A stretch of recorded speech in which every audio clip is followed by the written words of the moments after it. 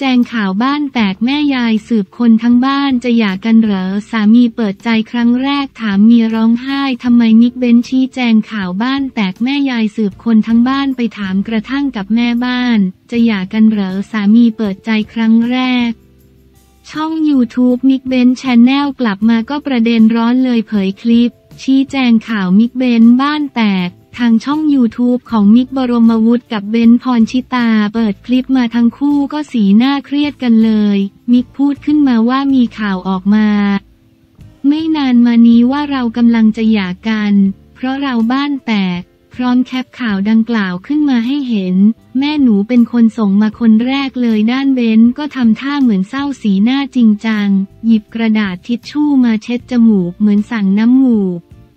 หน้าตาดูซีเรียสบอกว่ามันมีข่าวจริง ๆ วันนั้นแม่ส่งมาเราบอกจะหย่ากันสรุปไงบอกเขาไปเลยดีกว่า เพราะคนถามเราเหนื่อยกับการนั่งตอบ สรุปหย่าไม่หย่ายังไงยังรักกันอยู่หรือเปล่ามิกถามเมีย แล้วหนูร้องไห้ทำไม เบนใครร้องกินไอ้นี่ไง มะม่วง ละครเหลือเกินทั้งน้ำตาน้ำหมูก เบน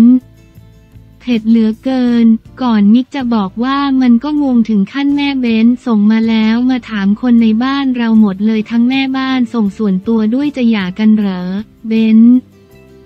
ซึ่งปกติแล้วเราน่าจะเป็นคู่ท้ายท้ายนิดหนึ่ง ใครบอกเบนถึงกับเค้นคอสามีถามมันมีจังหวะนั้นเหรอ มีไหมเนี่ยเอาจริง ๆ มิกไม่มี 20 ปีแกต้องมีจังหวะนั้นมั่งแหละ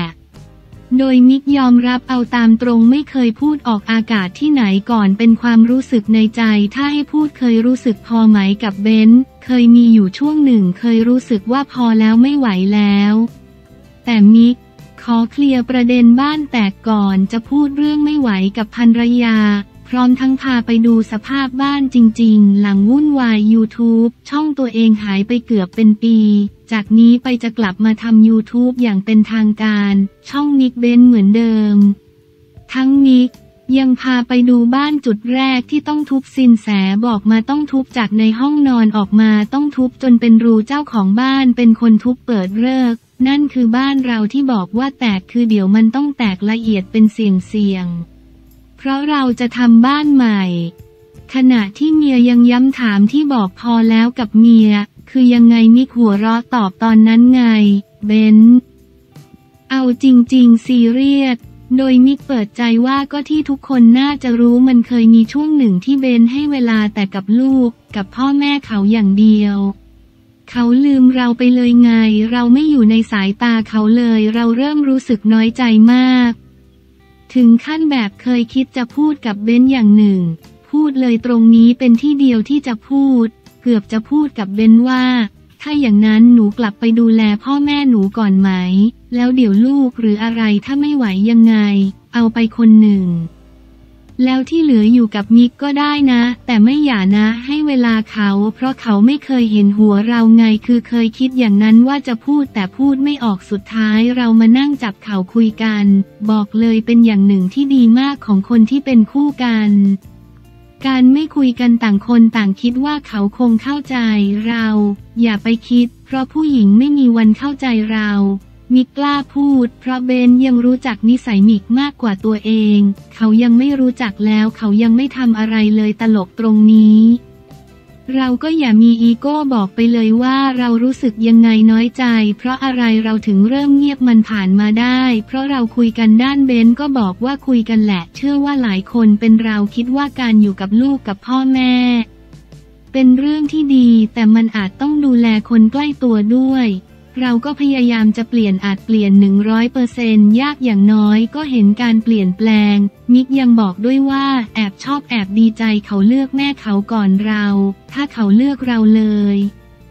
ไม่เอาแม่เขาเลย อุ้ยเริ่มรู้สึกแต่ยังไงเขาก็เลือกพ่อแม่เขาย้อนไปเมื่อ 20 ปีก็นี่แหละ เรารักเขาที่กตัญญูแต่ต้อง หนูมันเลยจุดที่หนูมีแต่พ่อแม่แล้ว หนูมีครอบครัวแล้วต้องแบ่งเวลา ก่อนจบด้วยความเฮฮาของสองสามีภรรยาทำแฟนๆคอมเมนต์ใต้คลิปโดนแกงเข้ามาดูคลิปด้วยความตกใจ โดยแฟนๆแห่ชื่นชมทั้งคู่ผ่านปัญหามาได้พพร้อมทั้งเชื่อมั่นคู่นี้ไม่มีทางเลิกกัน อาทิครอบครัวนี้ไม่มีทางเลิกกัน อย่ากันหรอกจ้า เอ็นดูความน้อยใจของคุณมิกค่ะ ดีใจที่มีอะไรก็คุยกันนะคะ รักครอบครัวนี้โอ้ยตกใจหลงทางตั้งนานโอ้ยอย่าเลิกกันนะ รักกันนานๆนนะลูกอย่าเลิกกันนะคะ น้องเบนก็อย่าเอาแต่ใจมาก อย่าไปว่าน้องมิกเขามาก ถ้อยทีถ้อยอาศัยกันนะคะ ลูกรัก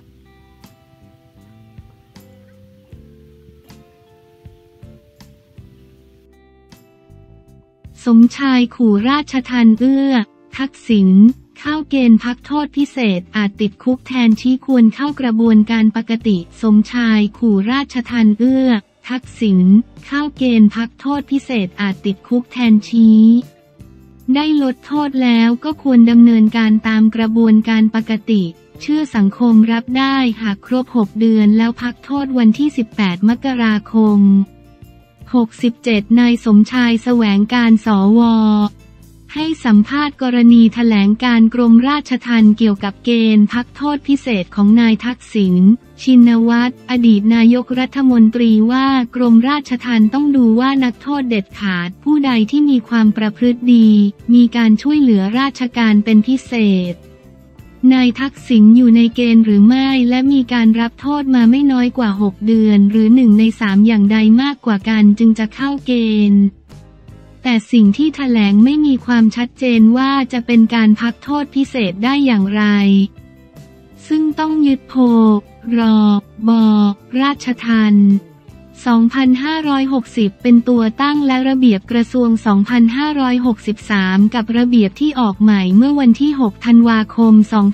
2566 ที่ผ่านมานั้นไม่ได้เกิดจากการให้ไปพักรักษาตัวที่บ้าน นายกรัฐมนตรีพบประธานอาดานี่กรุ๊ปสนใจแลนบริดจ่อขยายเส้นทางบินเพิ่มเน็ตมาไทยวราวุธเสียใจเหตุพลุระเบิดประสานกพมสสชทพ ลงพื้นที่ดูแลทุกคนให้เดือดร้อนน้อยที่สุด รวมถึงการพักโทษก่อน 6 เดือนทำไม่ได้ และระเบียบที่อ้างกันก็ไม่ได้มีเจตนารมณ์ให้กลับไปอยู่บ้าน แต่มีความพยายามอ้างเรื่องการพักอยู่ที่บ้าน สิ่งสำคัญคือบ้านที่ไปพักต้องมีลักษณะเป็นเรือนจำหรือไม่ หากมีลักษณะเป็นเรือนจำแล้วมีสภาพคุมขังได้หรือไม่ หากบ้านมีสภาพคุมขังได้ก็หมายความว่านักโทษคนอื่นต้องไปพักได้ด้วย ไม่ใช่บ้านของใครคนใดคนหนึ่ง ผมยังไม่เข้าใจว่าเกิดอะไรขึ้น ที่พยายามอธิบายสังคมว่าพักโทษเป็นกรณีพิเศษ และคุณทักษิณจะเข้าข่ายเช่นนั้นหรือไม่ ผมคิดว่าเมื่อคุณทักษิณได้เข้าสู่กระบวนการยุติธรรม ยอมรับผิดขอรับโทษ และศาลตัดสินต้องจำคุก 8 ปีแล้ว แต่ได้รับพระราชทานอภัยเลทโทษเหลือหนึ่งปีก็ควรดำเนินการไปตามกระบวนการยุติธรรมปกติ โดยไม่ขอรับพระราชทานลดโทษเพิ่มเติมอีก การจะพยายามทำอะไรของฝ่ายการเมือง ฝ่ายกรมราชทัณฑ์ ก็ขอให้ยึดหลักกฎหมายให้ดี เพราะท่านเป็นกระบวนการยุติธรรมท้ายน้ำ อย่าทำให้เกิดวิกฤตศรัทธา ขอย้ำว่าเมื่อศาลพิพากษาลงโทษแล้ว และได้รับพระราชทานอภัยเลทโทษแล้ว ก็ควรเดินตามกระบวนการที่ถูกต้อง นายสมชาย กล่าว เมื่อถามว่าหากตัดเรื่องระเบียบใหม่ออกไป และนายทักษิณใช้กระบวนการรับโทษหนึ่งในสามแล้วสามารถขอพักโทษได้หรือไม่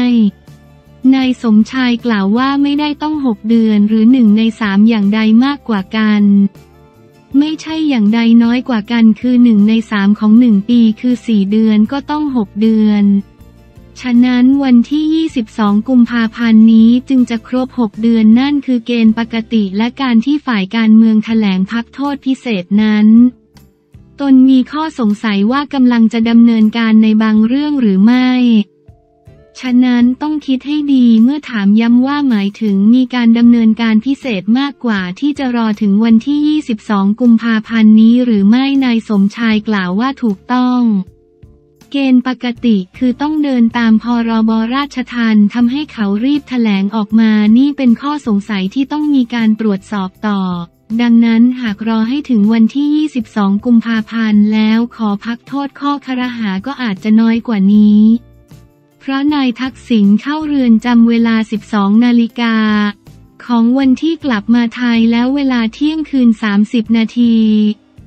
ก็ไปอยู่โรงพยาบาลตำรวจหากป่วยมากน้อย แค่ไหนก็ควรบอกสังคม แต่ก็ไม่มีความชัดเจนจึงมีข้อครหาของสังคมหรือความเคลือบแคลงว่าตกลงแล้วนายทักษิณไม่ได้เข้าสู่กระบวนการหรือไม่ แต่ตนยืนยันว่านายทักษิณเข้าสู่กระบวนการแล้ว เพียงแต่ไม่ได้เข้าเรือนจำ สิ่งที่ดีคือหากนายทักษิณรักษาหายแล้วก็เข้าสู่ระบบคือการพักฟื้นที่โรงพยาบาลราชทันและรอครบเวลาตามกฎหมาย ผมคิดว่าสังคมรับได้ถ้าครบ 6 เดือน แต่หากไปตั้งเกณฑ์พิเศษขึ้นมาอีกแล้วมีการปล่อยตัว ผมไม่แน่ใจว่าอาจเกิดวิกฤตศรัทธาของกระบวนการยุติธรรมไทยมากขึ้นหรือไม่ จึงฝากเตือนว่าอย่าพยายามเขียนระเบียบอะไร ที่ไปทำให้กระบวนการยุติธรรมบิดเบือน เมื่อถามว่าหากใช้กฎหมายผิดวัตถุประสงค์ สามารถนำไปร้องเรียนกับหน่วยงานใดเพื่อให้มีการตรวจสอบและดำเนินการเรื่องนี้ได้บ้างหรือไม่ นายสมชายกล่าวว่า กมทมีการตรวจสอบและบันทึกไว้แล้ว รวมถึงมีคนไปร้องกับหน่วยงานต่างๆ มากมาย หากเดินไปตามปกติก็ไม่มีอะไรและอยากเห็นกระบวนการเดินตรงไปตรงมา เมื่อถามต่อว่าน่าห่วงผู้ที่ดำเนินการเรื่องนี้หรือไม่ นายสมชาย กล่าวว่าก็มีคนติดคุกแทน เมื่อถามย้ำว่าหมายถึงกรณีนี้ติดคุกแทนนายทักษิณ นายสมชายกล่าวว่าหากทำไม่ถูกต้อง เนื่องจากวันนี้สังคมตั้งคำถามเยอะ ถามว่านักโทษที่ป่วยจากเรือนจำต่างจังหวัดไปอยู่โรงพยาบาลกี่วัน อย่างมากก็ไปเช้าเย็นกลับ หากผ่าตัดอย่างมากก็หนึ่งคืน และข้อชี้แจงของกรมราชทัณฑ์ระบุว่ามีนักโทษที่พักอยู่โรงพยาบาลตลอดหนึ่งปีสองเดือน มีจำนวนเกิน 3,000 คนเกิน 30 วัน มีแค่ 100 คนเกิน 60 วัน มีแค่ 33 คนและเกิน 120 วันมี 3 คน